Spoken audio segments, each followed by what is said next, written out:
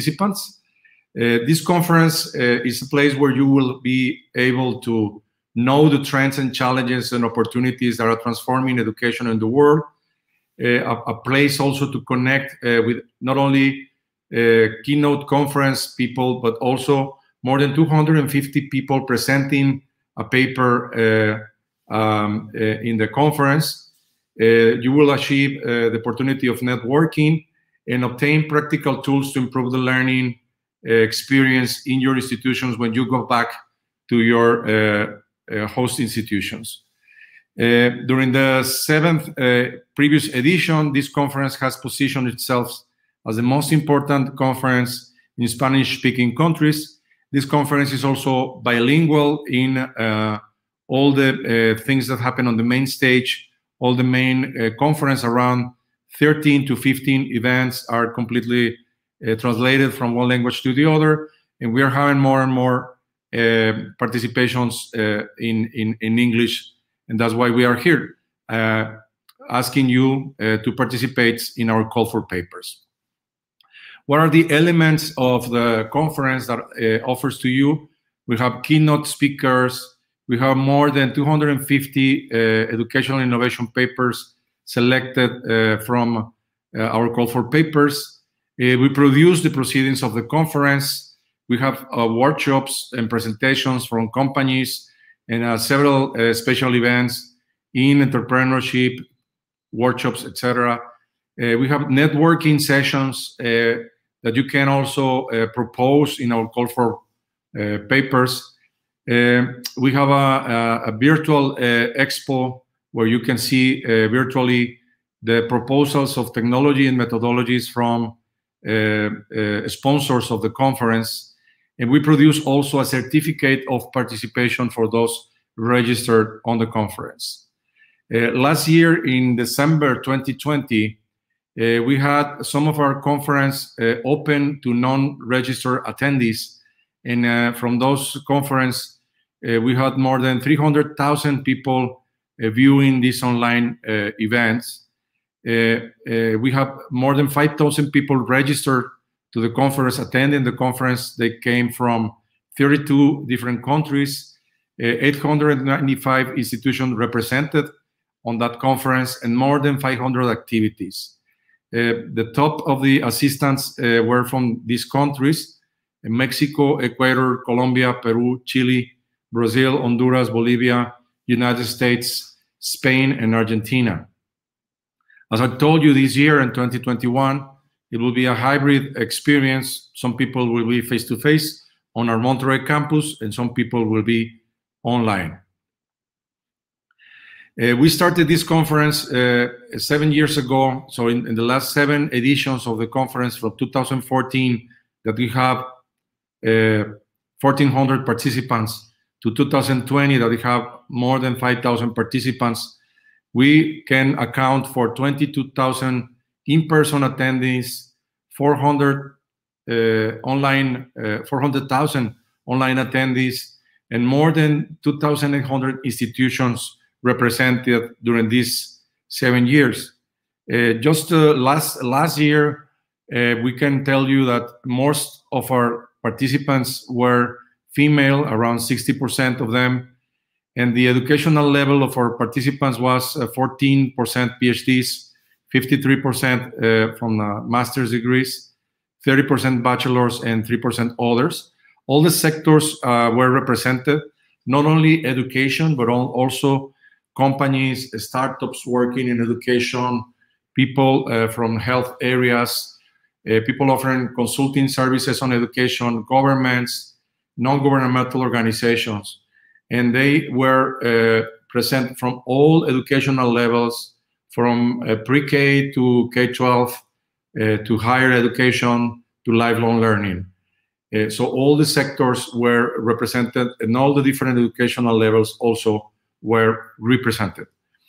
Uh, we have a very good uh, media coverage from our last conference. we had more than 2019 publications in uh, traditional uh, news media like uh, Forbes, uh, uh Grupo Reforma, uh, other journals and magazines in Mexico, Colombia, Ecuador, Peru, and Chile, as well as in the United States. we had also a great coverage in social media. More than a million and 200,000 people saw some of the publications, and we had more than almost 3 million impressions on, on social media. Uh, last year, we also conducted a call for papers in the middle of the pandemic. So you remember that uh, uh, around April, we were also in the middle of the pandemic. We started uh, thinking that maybe this pandemic was going to last only one, one or two months, and it lasted more more than that. Uh, nevertheless, we received a very good number of uh, papers to be reviewed our international review committee. More than 800 papers were received from 29 countries. And after the reviewing process, uh, we had a group of uh, uh, papers uh, selected for presentation on the conference, 77 for them coming from Mexico, uh, Mexican participants, and 23% from international participants. Uh, after that, during the conference, we produced the the proceedings uh, of, uh, of the conference that cover the five thematic lines of our uh, International Conference on Education and Innovation. we also have a um, survey for our participants that we have, we have been conducting on the last seven conference. And, and last year, we were new in the online version, but we are very happy that we receive a very good uh, uh, review by our participants, 9.48 points uh, where the scale was from 1 to 10 and 10 was the best grade. they say that they have a very good, we're very satisfied with the participation and almost 98% say that they will participate again in our conference this year. So we are uh, expecting to have a lot of people repeating the conference this year uh, and, and being, being here with us. So, uh, as I told you, the, the conference will be held from the 13th to the 15th of December uh, in 2021. Our call for papers is open right now. So, uh, the deadline of our call for papers is the 23rd of July. And uh, you can uh, find all the information that we will deliver in, uh, today. All the information about the conference call for papers is on our website uh.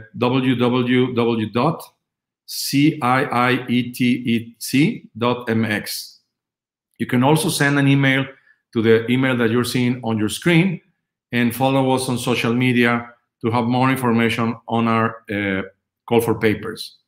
So if you're planning to participate, let me tell you that there are several thematic lines uh, during in, in, the conference.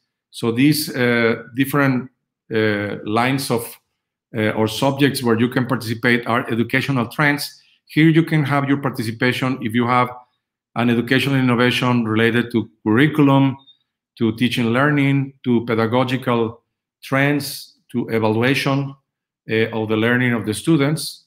Uh, another one is educational technologies. So if you have something related to the use of technology in education, like virtual reality, artificial intelligence, data science, online learning, MOOCs, etc. This is uh, thematic line where you can uh, send your participation. Another one is education and innovation management. Management. These are the things that traditionally doesn't happen in the classroom, and uh, it's uh, dedicated more to people in management positions. So, like teacher training, give, giving capabilities, technology capabilities, technological capabilities to the to the students, but also to the faculty uh, of the different departments. How to cope with uh, cyberbullying, for instance, also um, working with mental and social emotional health of the students is also another uh, subject that goes into the educational innovation management uh, thematic line.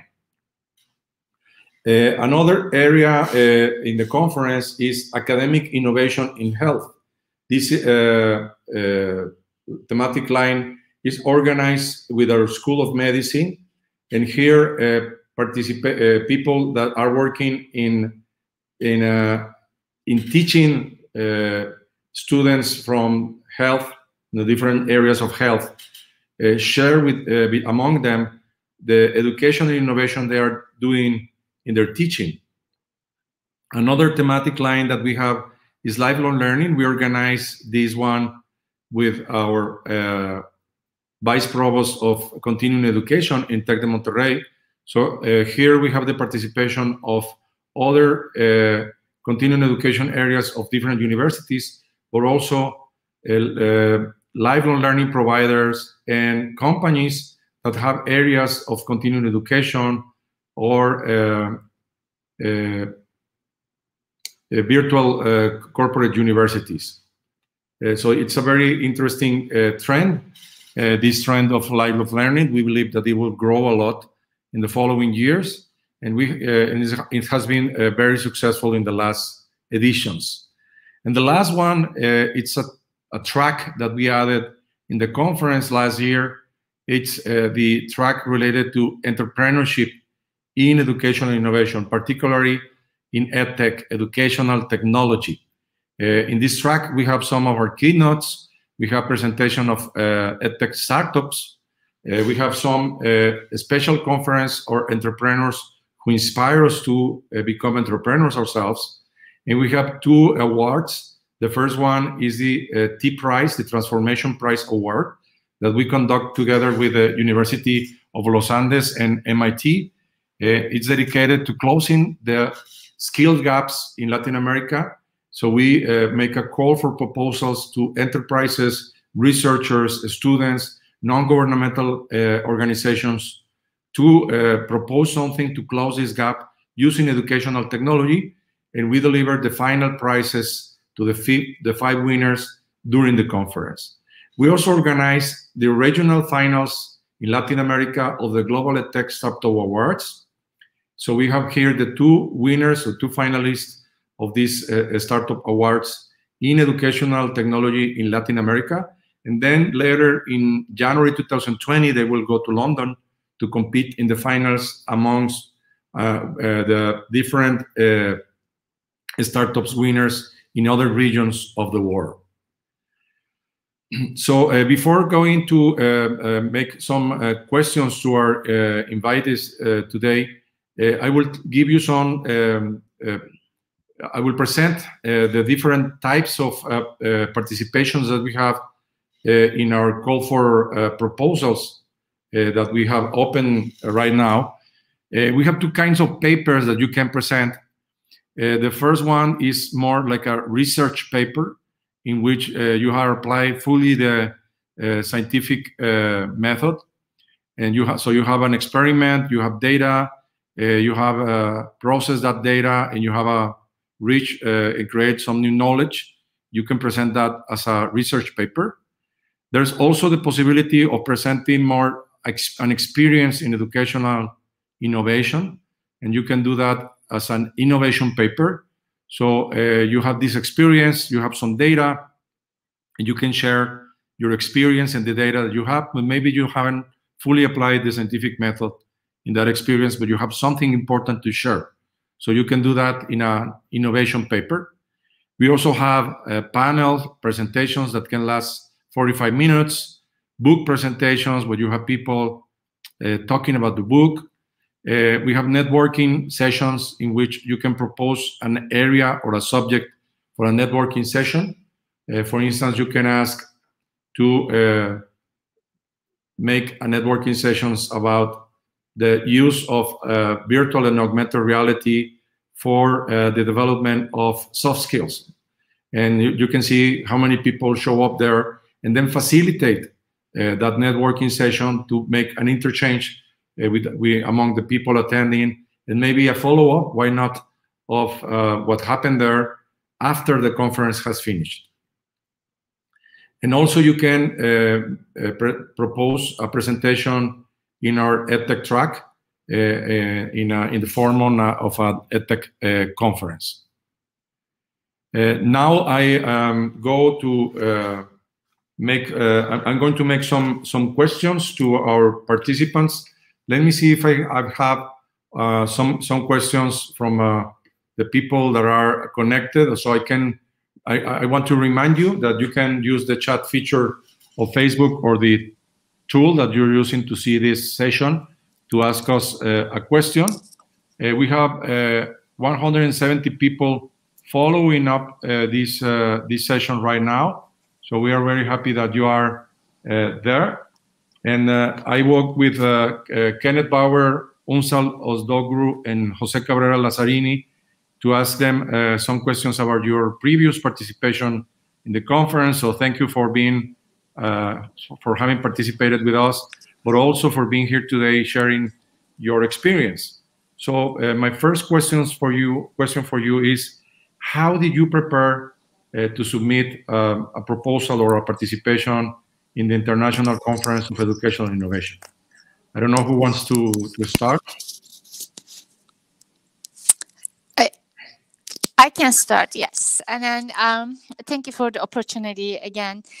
Uh, we prepared uh, our paper and as well as the presentation uh, based on the format that, that we had received from the system. And it was a very easy uh, process. And then we knew uh, what uh, areas and how many um, uh, pages and all the details were there. So we basically used the format. Thank you, Unsal. So uh, for our, our the people that are viewing this session, there's um, there are uh, templates for each kind of uh, participation that you can download on our webpage. And you also have all the information about the maximum number of words, etc., and recommendations on how to uh, fill in these templates with so that you can then later send your participation. Who wants to go next? I just want to build on, on Unsal's uh, point since uh, the two of us, we work together. And uh, um, an additional point to consider is that we received that information well in advance. So really we had enough time to, to get ready for the submission and all the instructions were very, very clear and very helpful. In addition to that, uh, we always had the, the support of, of the of the organizing team to for any questions. So it was a, a very good experience uh, from my point of view. Thank you, Jose. Ken? And, I'd, I'd, add a little bit that to Pepe. Um, it's not just a call for papers, it's a call for participation. So uh, for those that are stressed out or my contributions aren't good enough to give an academic paper, you all can share. So the the administrative process is actually really well done and supported. I think the trick here is to decide I have something to share and I want to share it. And and if you want, connect with others like ourselves that have participated before I've been participating in this conference before it was an international conference. So I've been around a long time. And I'm happy to, if anyone wants to reach out to me and, and think, hey, could I share this idea? Is this good enough? And the answer is probably going to be yes. Definitely put it together and submit. Thank you, Ken. Thank you. That's encouraging for people that are uh, deciding if you want to participate, not only a, a call for papers, but a call of, uh, for participation. So my ne next question to you is uh, around your participation last year in December 2020. As you know, it was a very it was a very special conference for us because it was uh, like uh, the first time that we were doing the conference uh, online, and it was like going back to zero because uh, we have been doing the conference for six years face to face, but we have never done an online, a fully online conference. Uh, so for you, maybe it was also a first or one of your first uh, completely online presentations. How was your experience during your presentation on the conference last year?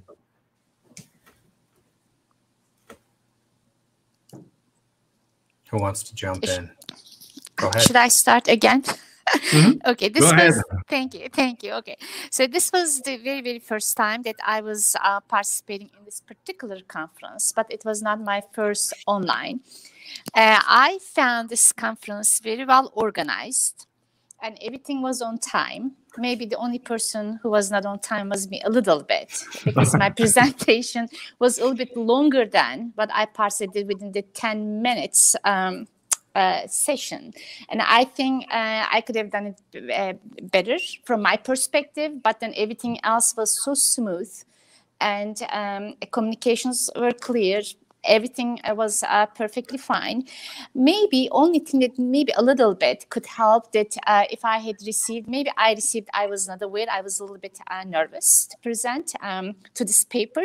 So uh, to get some um, feedback on how many minutes that I had left. Mm-hmm. Maybe I could be um, uh, better fitting in that time frame, but other than it has been a wonderful experience for me and I would I, am looking forward to uh, attend this um, conference again. Thank you. Who wants to go next, uh, Jose? You're, Jose. okay. Go ahead. You're, you're, we can hear you. Uh, I just want to reinforce uh, that specific point. When we started presenting, we got so uh, excited that we sometimes lose track about time. So it will be great to keep us on track, uh, sending like a first warning, second warning, so we, we can finish on time. But other than that, the, the technical support was great. We I remember very well we had 27 as the attendance. And wish we wish we had more time because uh, uh, probably having some questions at the end will help, but as, I, as, as we already mentioned, uh, we were so tight that uh, at the end uh, we were not able to get the uh, some of the questions that we were expecting. But other than that, I think that was a great experience for both of us. Mm-hmm. Thank you, Jose. Yes, uh, sometimes it's hard for faculty to deliver short speech because we are used to the 45, 50 minutes uh, lecture, no? Yes, I agree. Ken, can you tell us uh, about your experience? Um, so I'm trying to remember. I've because of pandemic, I've been involved in so many conferences online as well as organizing, like uh, OLC Innovate. I helped organize, and I'm trying to remember the ambience of our event. I know it was good. Um, if it was really bad, it would have stood out, um, and if it was awesome, it would have particularly stood out. I think we did a really good job of of getting people involved. I think the um, openness of the speakers to the participants, I think, is really important, and we did a really good job on there. And um, I think it was really good as as a presenter and and attending because I attended very many sessions. I think it was an excellent job for the first online conference that we did fully from the Tec de Monterrey for this event. So congratulations, Pepe and team. Thank you, thank you, Ken and everyone. I, I have another question for you, uh, three. But uh, before that, I want to take uh, some questions uh, from the mm-hmm. audience. Uh, uh, someone is asking me about the hybrid format of the conference. we will give you more details on that when we are closer to the uh, to December, but uh, the idea is that in December we will still have restrictions on the number of people that we can accommodate in our facilities in the in campus uh, in our Monterrey campus. So we have a reduced number of people attending the conference, uh, but we will have also people that at the same time will be connected to the conference online. So that's uh, that's the way that we are uh, mm-hmm. imagining that it will it will work. someone is asking about how much time do we have for a networking session? 45 minutes in total. That's yep. the time that we have for a networking session. Where can I uh, send the call for uh, my, my, my proposal paper or uh, participation, you can use our web page to go there and navigate in that web page. You will find all the formats, all the uh, recommendations, and also the place where you can upload your proposal there. Uh, someone is asking if uh, uh, we can uh, we can accept a project that is not finished, that is on, on the, in development. I would say if you are developing something, you you already have some some results that you can share, something interesting yeah. that is going there. You could present that maybe on the format of an innovation uh, presentation. No, yeah. Uh, that will be my my recommendation. Uh, um, presentations can be done by a team of people. Yes, they can be done by yes. people. You know, people.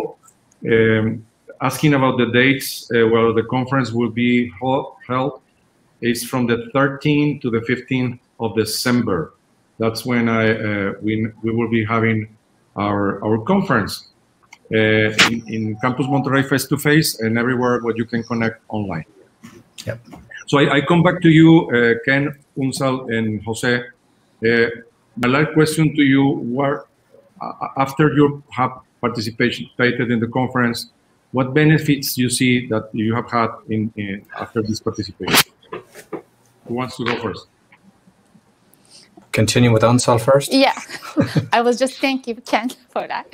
Yeah, I think uh, there are a lot of benefits for me. And in, first of all, participating and seeing so many different uh, papers. I wasn't able to attend too many presentations, but then going through, and in particular when I had seen the uh, proceedings later.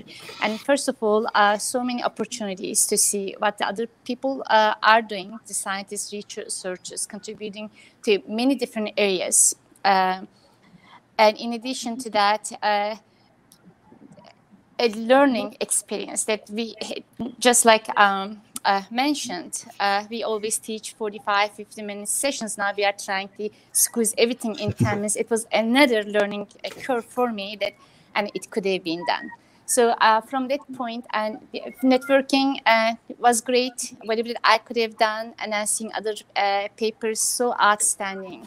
And uh, from that perspective and the best benefit was to be able to um, also work with uh, Jose uh, continuously and uh, basically uh, communicating um, uh, day and night to be able to finish it on time. And uh, it was a great opportunity for, for, from my perspective. Thank you, Unsal. Jose, you want to continue? Yes, yes in addition to what Unsal said, I think uh, being published in the proceedings, it's a great benefit in our, in our uh, career as researchers. And also uh, we got a very easy access, uh, a very easy way to access our certificate of participation. That also is an important element for, mm-hmm. for, for, our careers. So uh, I found it uh, very valuable, the, the opportunity to participate. I want to thank you, Pepe, all, all on your team for this great opportunity. And we look forward to participate in 2021 edition. I am already working with Dr. Ozdogru with Unsal uh, uh, in a new, in a new, in, uh, in, several new papers. So hopefully we will be able to be accepted this time again. Great. We will like to have more participation from the University of Illinois at Chicago. Ken? So I'll, I'll um, I'll emphasize what Pepe already said that it is an international conference and and there's lots of speakers of both English, Spanish, and lots of other languages. Um, I think uh, communi- communication and networking is really key. I remember back to my first conferences in the early 1990s. To age myself as a student, I was nervous to speak in the hallways and speak to people. But the reason I go to conferences is much more about what goes on between the sessions, in the hallways, and the events, and and I think giving support on that in an online conference is also very important. And I think we did a really good job. Um, creating contacts that'll last last you a career um, is also really important. I think we do a really good job about that. Thank you, Ken. Well, uh, I, I, I, give you, um, uh, I express my gratitude to you uh, for the sharing your, your experience. And I uh, will go now to the uh, closing part of this uh, session. I want to tell our audience that we have a, um, expo part, uh, we call it virtual expo in our online event last year, where uh, our sponsors can share with you the technologies and methodologies that they can have to share in educational innovation. so you can expect to have some people like this in this slide to be present next year. But also, if you are someone that is willing to uh, be uh, become a sponsor, you can uh, write to us in our email that I will share later on the screen. And uh, you can participate also as, as a sponsor of uh, our conference this year. Uh, reminding you in this uh, uh, slide the URL so that you can go there and find all the information about the call for uh, proposals, call for papers. You will find all the recommendations, deadline, tem templates, both in English and Spanish. And uh, there's a place also uh, where you can submit uh, your participation, our email where you can ask questions, and you can follow us in in our social media uh, uh, web page in Facebook. I want to uh, close uh, giving you uh, a big thanks uh, to Unsal, uh, Jose, and Ken. I also want to thank uh, the technical uh, um, staff that made possible this uh, transmission. And I uh, expect, I wish you success with your proposal, your paper, your networking session, panel, etc.